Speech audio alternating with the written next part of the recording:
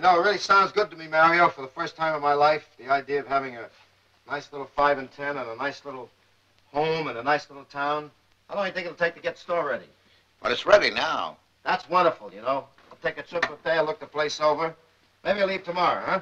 Good. Of course, uh, I have to ask you to lend me a couple of dollars, Mario, for, well, transportation and incidentals. What do you mean, a couple of dollars?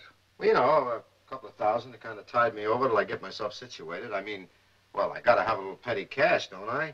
Why? So you can run and give the Diamond? He won't throw you out of this hotel? What are you talking? Not this time, Mr. Big Shot. The day you walk into that five and ten with your wife, I'll give you a nice check. Not before.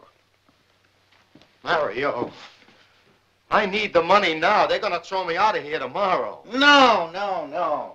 I knew it. I know him like a book. Boy, I always believe him. Listen, Mario, let's talk. Light I a need you. candle, the boy says. Light a candle. You came down to help me, didn't you? For me, he's got no feelings, all right, but for his own son, light a candle. You, Mario, you're my brother. Why don't you I- help me? I believed you. I believed you. What am I gonna do at the hotel if I lose it? How am I gonna help the kid? How are you going to help him? You're going to help him like I helped my children, like two billion others have helped their children. They work.